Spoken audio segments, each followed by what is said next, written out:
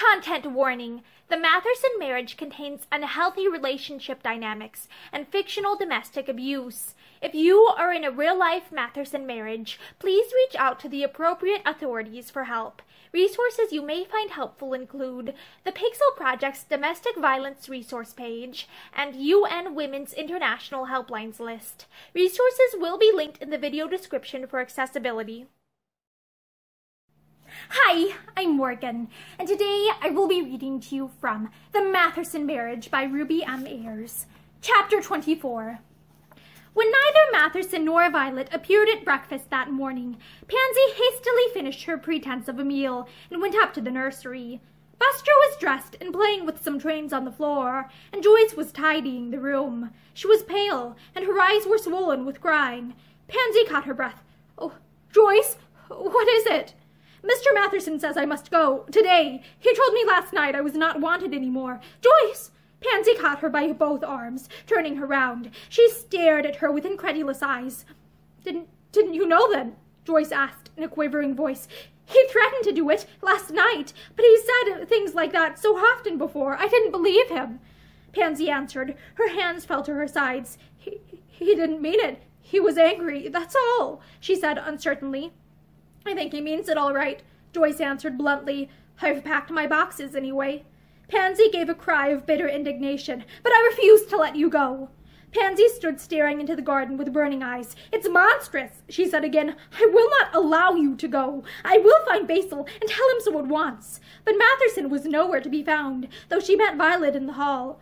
Have you seen Basil? Pansy asked. Violet laughed and shrugged her shoulders. no, and I don't want to. We had the dickens of a row last night, and I've got my marching orders. What do you mean? Only what I say, my dear. St. Basil got up on his high horse when I ventured to give him a little sisterly advice, and we had a fine old row. He ordered me out of the house with expletives, and I'm going this morning. Pansy wrung her hands. He must be mad, she said piteously. He's told Joyce to go, too. He must be mad. He's a brute, I know that, Violet said. Then she put her arm round Pansy. I don't care a hang for myself, but to have to leave you here with him! Pansy seemed not to hear. I must find him. I must find him, she said feverishly. She went out into the garden with Violet following. He's gone out, I think, Violet volunteered. I heard the car quite early, anyway. Hello! Here's Buster. She turned round to wait for Buster, who had called from the front door, and Pansy went down to the garage. Gates was there swilling down the Gates was there, swilling down the yard. Has the car gone out? Pansy asked. Yes, ma'am. The master went out early, about seven, I should think. Oh, she turned away, then back to ask, Do you know which way he went? Did he say where he was going? No, ma'am. There was despair in Pansy's heart as she went back into the house. Supposing he had gone over to Lynn at Chiswell's. Supposing he told him what had occurred last night, and of his own suspicion. I will not go on living if he has. The thought, the thought wildly. The shame and humiliation would kill her. What would Lynn think? She went back to Joyce. I will not let you go. I will not allow it, she said again feverishly. Down in the garden she could hear a Buster's laugh, and, looking out, she saw him chasing Violet across the lawn. If only she could take him and go away. If only she need never come back, never see her husband again. Presently Violet came to her. I suppose it won't matter if I go to the... I suppose it won't matter if I go to the station in the car, will it? she asked. Or shall I phone for the local chariot?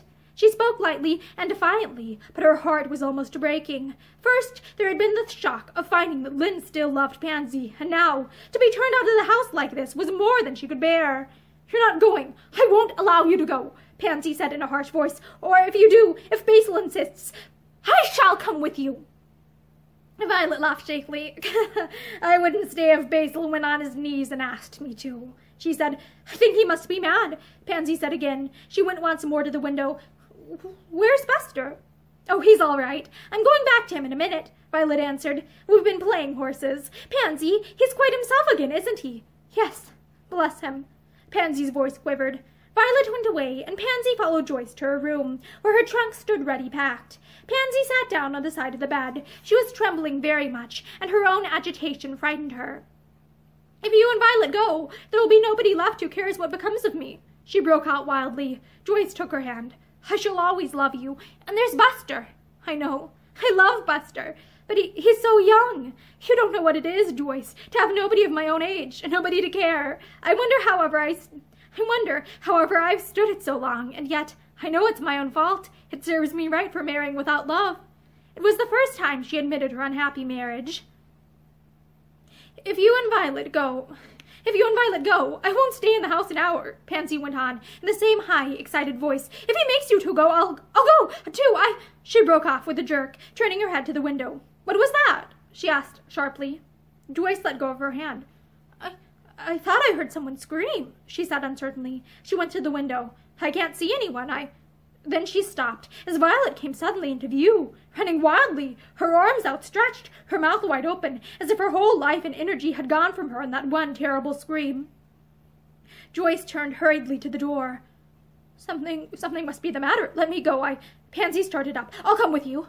They ran down the stairs together and met Violet at the open doorway. When she saw Pansy, she swayed forward and fell at her feet, clasping her skirts with frantic hands. Don't go! Don't go! she wailed. She could hardly speak. Don't let her go, Joyce. Pansy stood petrified. Then she stooped and tore herself free of her sister's frantic grasp and fled out into the garden. Gates was running down the drive towards the gate, and she was and she followed. She had overtaken and she had overtaken and passed him before she saw the two cars at the gate and the little group around them, and Lynn. His tall figure seemed to stand out from amongst from among them. His tall figure seemed to stand out from among them all, and his face was ghastly white. He saw her and moved forward, as if to hide something from her, but she pushed him aside with almost superhuman strength. What is it? Ah! She screamed once like a madwoman and fell on her knees beside the little beside the little figure lying there. Buster, darling, my own darling, look at Dodie, speak to Dodie. What have they done to you, my beautiful, my beautiful? Her voice had fallen to a soft groaning, as if he were asleep, and she feared to waken him. She gathered him into her arms, and his pretty head, with its cropped hair, fell back limply against his against her shoulder. She looked down at his marble face, with its ugly bruise, and a frozen horror seemed to settle into her eyes. Matherson was sobbing, great heavy sobs that seemed to rend him. He bent over his wife. Pansy, my poor girl! She knelt there, staring up at him with a Buster clasped to her breast. For the moment, it seemed as if she had lost her reason. She offered no resistance when someone took the child gently from her. She rose stiffly to her feet. She looked like a frozen statue, save for her eyes, which were burning as they searched first one face, then another. Matherson, people from the village who had come running, Gates, with the tears running down his weather-beaten cheeks, everyone, till they came at last to Lynn. She spoke then in a terrible voice that sounded as if it had struggled up from the depths of hell. Who did it? Matherson broke into labored speech. He ran out. Nobody saw. It was too late. The car. He could not go on. This was the end of his life with Pansy, he knew, and in that wild, tragic moment, for his everlasting punishment, he knew that he still loved her with every beat of his heart. Pansy glanced Pansy glanced apathetically at the two cars before she turned again to Lynn Ramsden. Who did it? she asked once more. Her eyes were a prayer to him to tell her, and through all his anguish he was conscious of a little thrill of comfort in the knowledge that she had appealed to him and would believe him. Then he looked at Matherson, and across the tragic figure of the woman they both loved, he saw his tortured face and the agony of his eyes that flashed a wordless appeal. It was an appeal for forgiveness, for one more chance, for pity, the appeal of a coward to a strong man, perhaps, and yet the only one he knew how to make and Pansy asked for the third time in the same terrible voice. Who did it? Lynn took a step forward. I did. I was driving the car. Gates broke into loud sobbing and turned away. All along he had dreaded that his master had been responsible, and though he had no particular liking for Matherson, it gave him unutterable relief to know that he had not killed his own son. Matherson's heavy figure swayed for a moment before, with a mighty effort, he controlled himself and put out shaking hands to his wife. Pansy, Pansy, she did not hear. Her eyes were still fixed on Lynn, but now their stony grief had changed to a very madness of hatred, and her lips were drawn back in a terrible, distraught smile. She took a step forward stepped towards him, her clenched hands raised above her head, as if calling upon God to curse the man who had robbed her of everything that had made life worth living. I'll, I'll never forgive you to my dying day. Never, never. Her shuddering voice seemed to tear the warm sunshine of the morning. All the sorrow I have ever known has come through you. Then she crumpled up and fell at his feet in the dusty roadway. Kindly people closed around her and carried her away. A doctor, who had been hurriedly fetched, rose from his knees beside Buster and shook his head sorrowfully. There followed a terrible silence. Lynn stood bareheaded in the sunshine, staring at Matherson with dazed eyes. There seemed nothing to be done, nothing to say. Buster was dead, and he had taken the blame to save the man he hated. People were staring at him curiously and whispering together, but he was unconscious of it. Presently, he turned and began to walk away. For the moment, shock and his real grief at Buster's death numbed his heart and brain. He only felt that he must go on walking till he dropped. He went back to Chiswell's. There was the inevitable inquest to face, he knew, and some sort of story to be agreed with Matherson. Mrs. Gee came to him pale-faced and agitated. Is it true, sir? About Mr. Matherson's little boy? They say. Quite true, Lynn answered shortly. She gave a cry. Oh, the pretty dear! How did it happen, sir? Lynn told his lie boldly. He ran out from the roadside and I knocked him down. She broke into tears. Oh, his poor mother! Lynn's heart contracted. Yes, his poor mother, his poor mother indeed. Pansy's words echoed through his heart with cruel meaning. Oh, the sorrow I have ever known has come through you. His best beloved had said that to him when he could have died to save her a tear. Why had he done the quixotic thing and taken Matherson's blame upon his shoulders? Matherson was nothing to him. No, but Pansy was. Lynn felt hopelessly that in some way he had saved her pain by sparing her the knowledge that Buster had died by his father's hand. Of himself she already believed the worst, so how could anything else matter? The morning passed, but nobody came near him. He made a pretense of eating lunch to satisfy Mrs. Gee, but she half maddened him as she came in and out of the room by her voluble, well-bent chatter.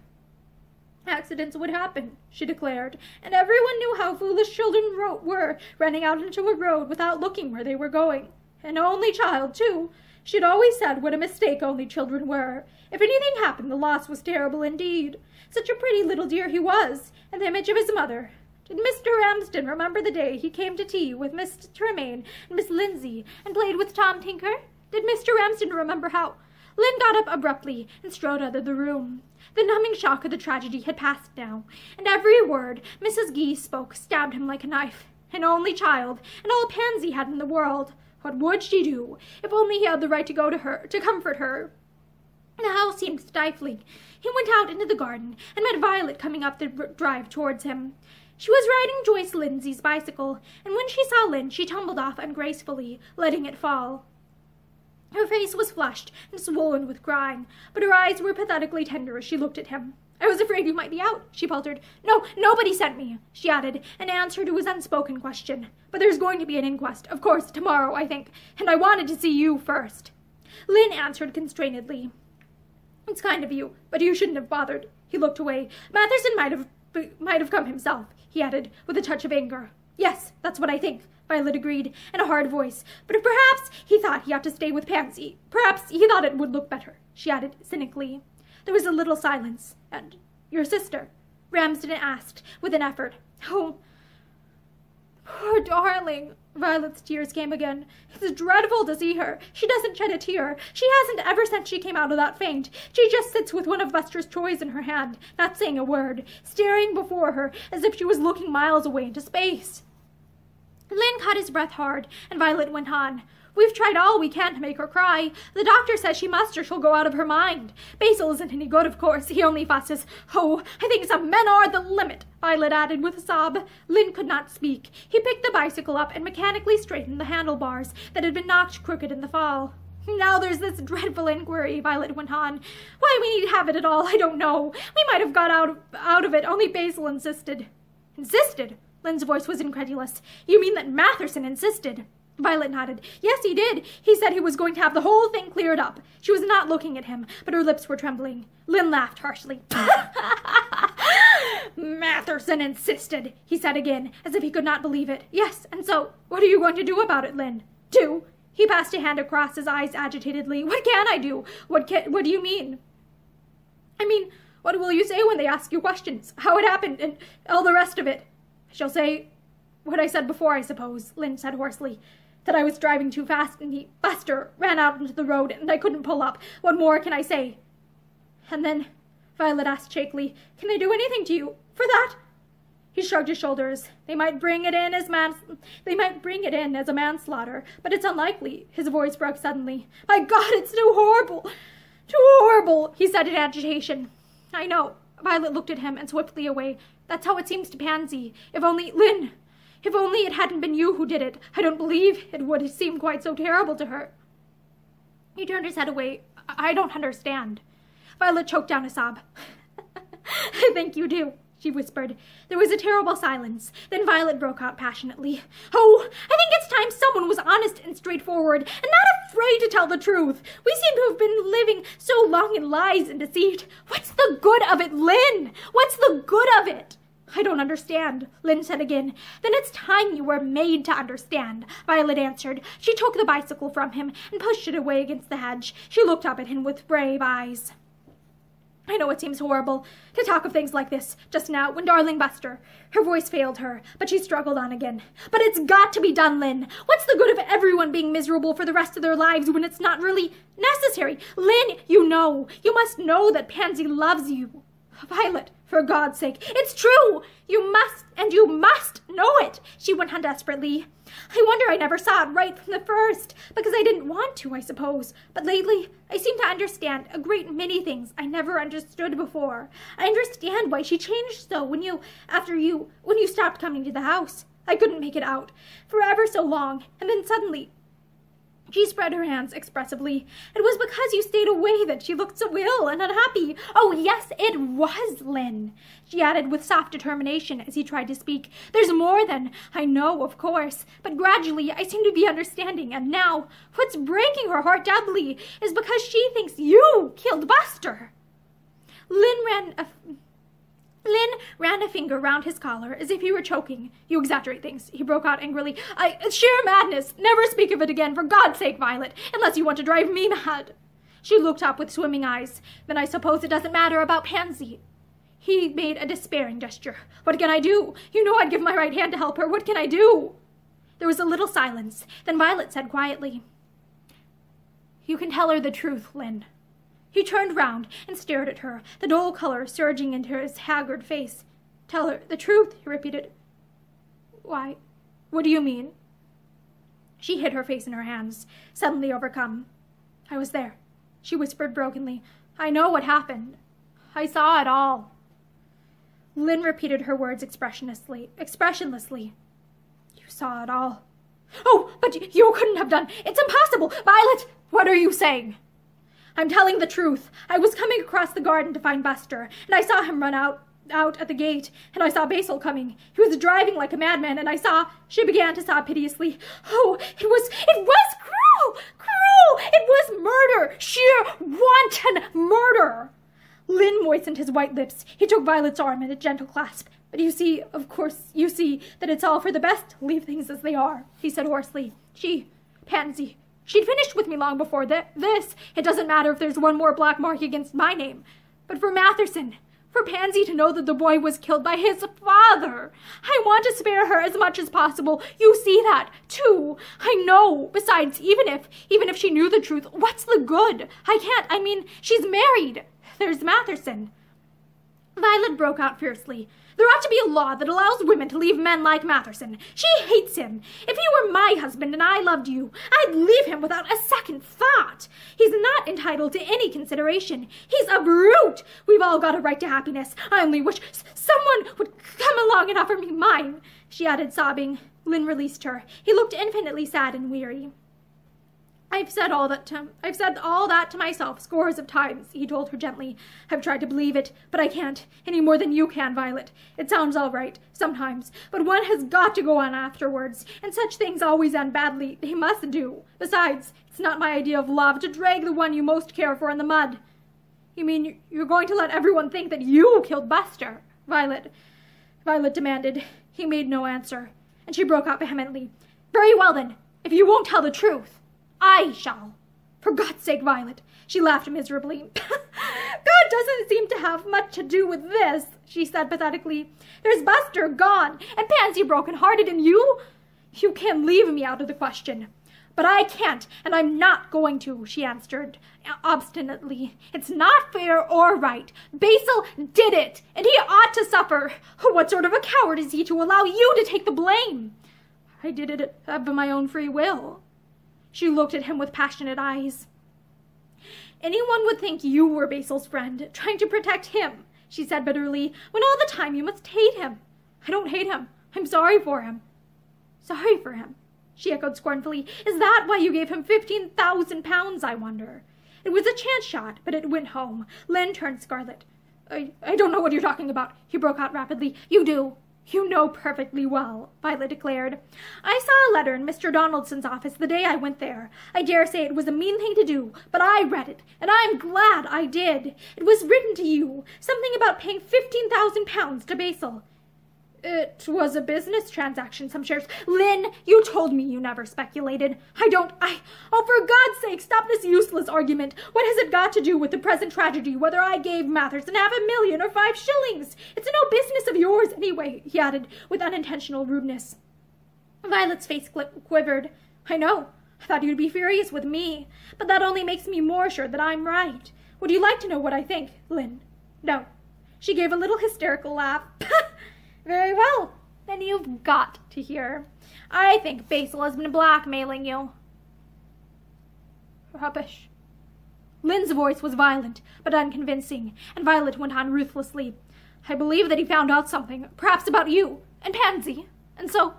She broke off, her eyes searching his face, and there was a long silence. Then she said, in a trembling whisper, So... so it is that. Somehow I knew it was. He broke out angrily. I've admitted nothing. There's nothing to admit. For God's sake, leave things alone. If you care anything for me or, or your sister, you leave things alone. It's because I care for you both that I won't. Pansy ought to know the truth. She's bound to find out some day, and then things will be a thousand times worse than if she than if she knew now. You will be making more trouble for her if you tell her. Besides, he caught himself up sharply. What is there to tell? A silly story that you've imagined and which you can't substantiate. He laid a hand on her shoulder. My dear, it's a wise plan. My dear, it's a wise plan to let sleeping dogs lie, he said more gently. She shook her head. You're not looking at it from Pansy's point of view. Has she got to be miserable for always? He made a hopeless gesture. I can't save her that whatever happens, and telling her what you imagine to be true won't help at all. Matherson has had his lesson. He'll be different now. She laughed scornfully. Is that all you know of him? she asked. They walked a few steps down the drive together and back. I must go home now, Violet said. I had to come to make sure. He took her hand. Before you go, Violet, you must promise me not to. He could not go, no. He could not go, no. But she finished the sentence for him. Not to tell Pansy the truth, you mean? Well, I'm sorry, Lynn, but I can't make a promise like that. If I did, I should only break it. Lynn turned very white. It'll, it will be your word against mine, he said hoarsely. She met his angry eyes bravely. They'll believe me, she answered. He made one last appeal. It's for Pansy's sake. I know her better than you do. You don't, or you wouldn't have treated her like this. I suppose you thought it was kind to stop away and avoid us all and let Pans and letting Pansy think what she does think. That's so like a man. They never seem to understand that when a woman cares, really cares, she can bear anything except being allowed to think a man's grown tired of her. She broke down into bitter weeping. Oh, I hate Basil for what he's done to us, she sobbed. I'll never, never forgive him. And that is the end of chapter 24 of The Matherson Marriage by Ruby M. Ayres. Thank you for listening to this chapter, and I hope you return soon for the next one. Have a great day. Bye!